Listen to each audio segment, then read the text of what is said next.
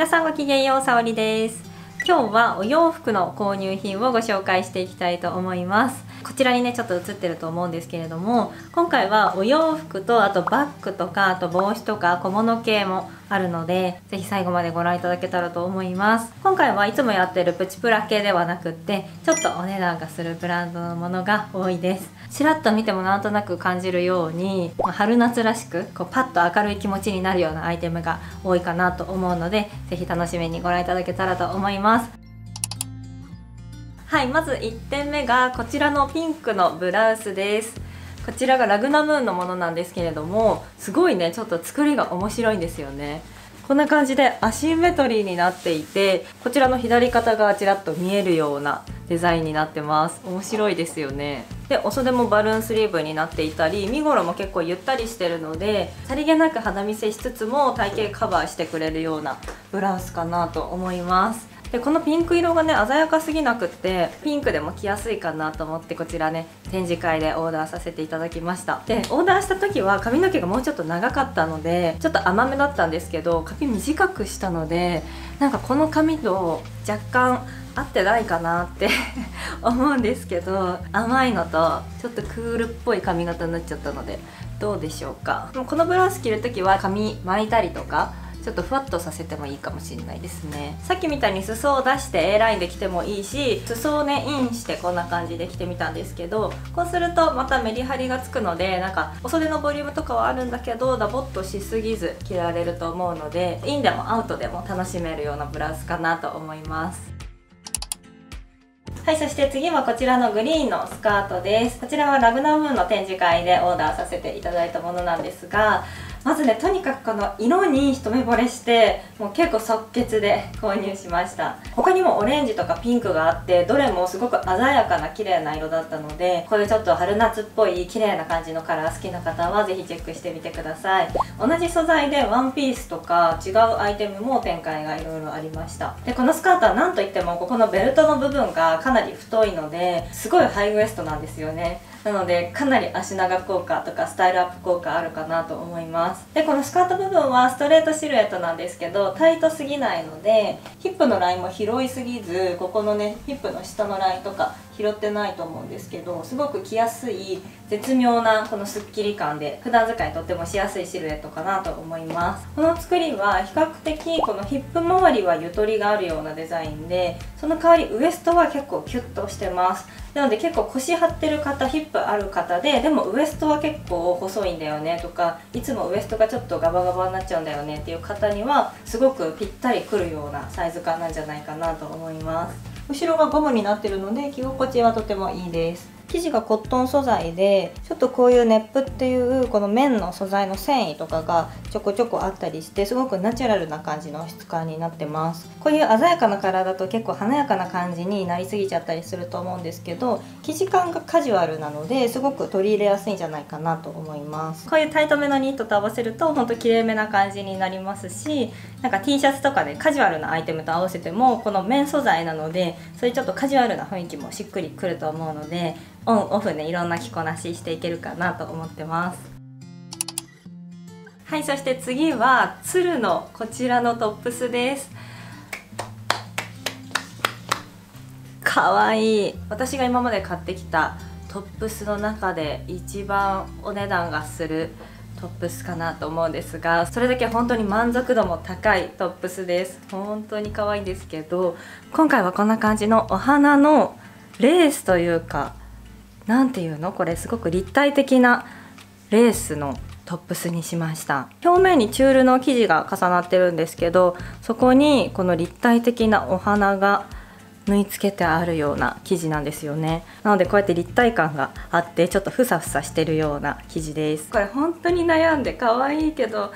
でもそもそもこの真っ白が得意ではないんですよ。でしかも汚れるししかもお洗濯できないんですね。この生地はやっぱり繊細なので。ですごい悩んで黒にしようかなとも思ったんですけどせっかくこの可愛いデザインを買うならもう逆に振り切っちゃって白の方がいいんじゃないかなって思って 今回勇気を出して白買いました。この半袖で切り替えになっていてペプラムでっていうデザインはツルで定番のデザインで毎シーズン素材とかカラーが変わって登場するんですけど私もノースリーブバージョンとこの半袖バージョンを持っていて今回で3着目です。後ろに向かって長くなっていって後ろはねかなりしっかりヒップが隠れます。ヒップ下多分5センチぐらい結構すっぽり隠れてくれます。でこれもちょっとこの髪型と合うか心配だったんですけどこのトップスがかなり甘めに見えるので逆に髪がこうやってすっきりしてるとバランス取りやすいかなと思って意外と逆に良かったなと思ってます。でボトムスはブラックのスキニーとかにしてでちょっと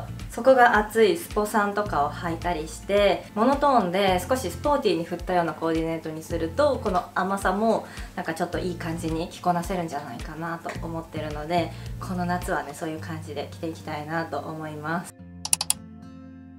はいそして次はこちらのドットのスカートです。はいもうねこのシーズンになると私はドットに目がないんですけれどもこのスカートだとドットでもなんか子供っぽくなりすぎなくていいなと思ってもう一目惚れして購入しました。確か1ヶ月前ぐらいに購入したんですけどもうお気に入りすぎて何回も履いちゃってるスカートです。ポリエステル素材なのでとにかく軽やかで生地がなので履いててすごくストレスフリーですしあと自宅で手洗いもできるので、まあ、万が一汚しちゃったりしても安心だしっていうところでかなり重宝しているスカートです。で作りはこんな感じになってます。ウエストの部分はベルトとかがないデザインで腰で履くようなデザインになってます。でここの1 0センチぐらいあった下からこうギャザーが寄ってるんですけど例えばこうウエストからギャザーが寄っているスカートとかよりも少し重心が下に来るので甘すぎなくってちょっと大人っぽいような印象に見せてくれるようなシルエットになってます。結構20代前半の時とかに着てたのはウエストにギャザーがしっかり寄っててふわっとしたデザインだったんですけどちょっとこう甘いかなっていうのとあとこう逆にこう腰回りとかが大きく見えちゃうかなっていうのがあったので最近は割とすっきりしたスカートがだんだん好きになってきたということもあってこのデザインだとこの腰回りのスッキリ感っていうのがありつつもしっかりとボリュームがあるスカートになってるのでこういうフレア好きだけどなんか太って見えるなとか腰回りはすっきりさせたいなっていう方にとってもおすすめのシルエットかなと思います。でこれはドットなんですけど文字のタイプだったり普通のね真っ黒なものだったりとかもあるので、まあ、このシルエットがねいいなって思われた方はあの無地のタイプとかもあるのでよかったら見てみてください。はいそして次は小物に行きたいと思います。シャポード O のハットです。私あんまり帽子かぶってこなかったんですけど去年の秋ぐらいからちょっと帽子いいなと思い始めてでたまたまねこの間このシャポード O さんの展示会にご招待いただいたので前からね気になっているブランドさんだったのですごく嬉しくってこちらをオーダーさせていただきました。まあ、シャポードーさんはちょっとねこうリゾートっぽいテイストのそばがもっと広いエレガントな感じのハットだったりとかいろいろとあってあとキャップとかカジュアルな感じのもあるんですけど私は最近この形がすごい自分にしっくりくるかなと思っていて今回ねこちらをオーダーしました。つばがちょっと広めででも広すぎなくってっていう感じなので例えばリゾートとかでワンピース着てこれかぶっててもすごくしっくりくるしでもなんかカジュアルにかぶってても全然こうマッチするような感じのなんかいいとこ取りのねちょうど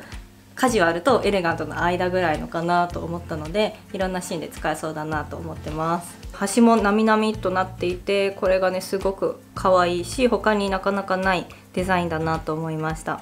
でここにはシャポード O のロゴのプレートも入ってます。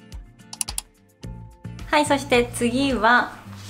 こちらジャンニ・キアリーニのトートバッグです。お待たせいたしましたっていう感じなんですけど何がっていうとのね結構いつも沙織さんだったら通勤バッグ何を買いますかっていうご質問いただいてきてたんですけど今回実は私も大きいバッグが必要になりましていろいろ調べた結果こちらのジャンニ・キアリーニのバッグを購入しました。実はこの春から私服飾学校に通い始めたのでかなりそれの教材だったりとかあとファイルが B4 サイズっていうすごい大きいサイズのファイルを使ったりとか、まあ、そういう紙にデザインを書いたりとかっていうのも大きい紙なので A4 サイズのバッグよりももっと大きいバッグが必要になってきた時にいろいろと調べたんですけどそれでまあお値段と実用性とかそういうのをいろいろ考えた上でこちらのジャンニ・キアリーニのバッグに決めた感じです。生地の部分はコットン素材かなこれは。キャンバス地だと思います。でこのパイピングの部分がちょっとポイントになってるんですけどマチもかなりしっかりあったりとか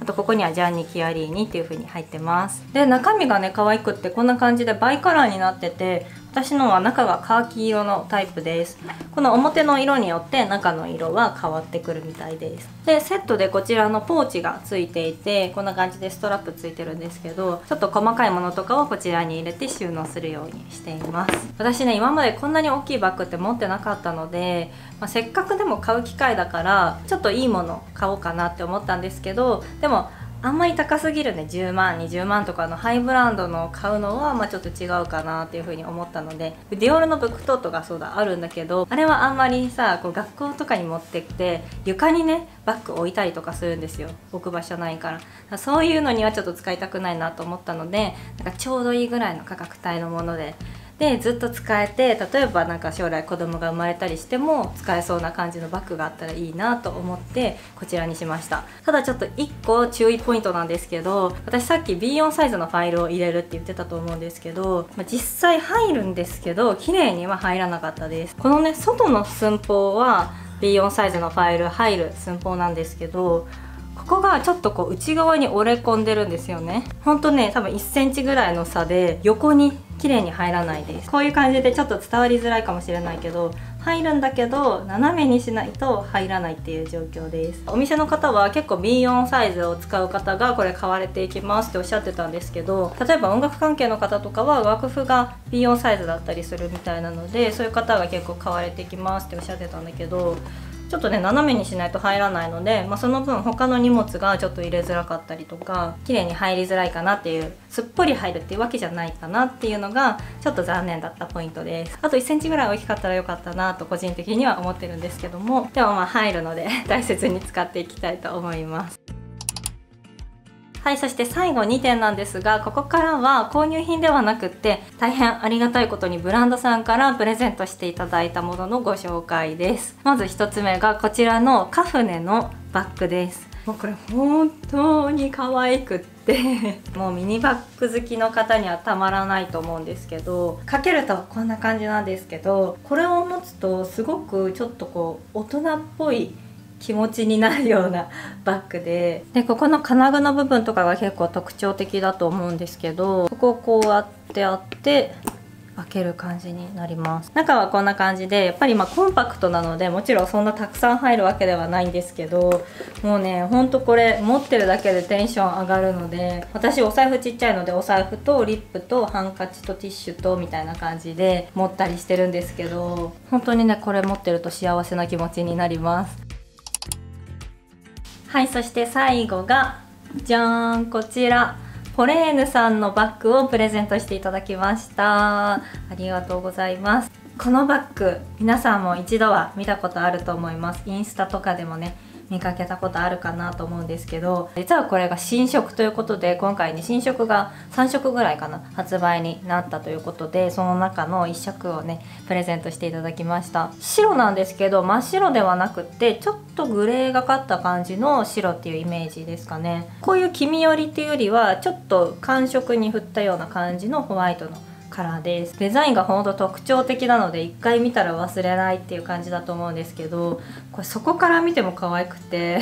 こんな感じでお花みたいになってるんですよねそこが。可愛い。でそこがやっぱりこれだけあるのでかなり中が広いバッグになってます。でこちらもストラップがついてるのでこんな感じでかけることもできます。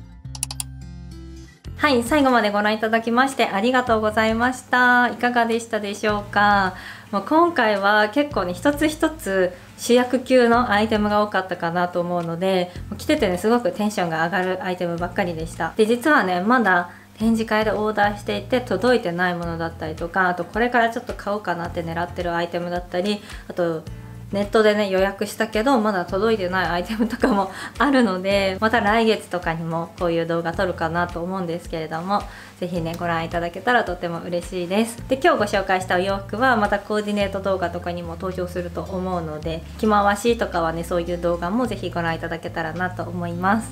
それでは最後までご覧いただきましてありがとうございました。ごきげんよう。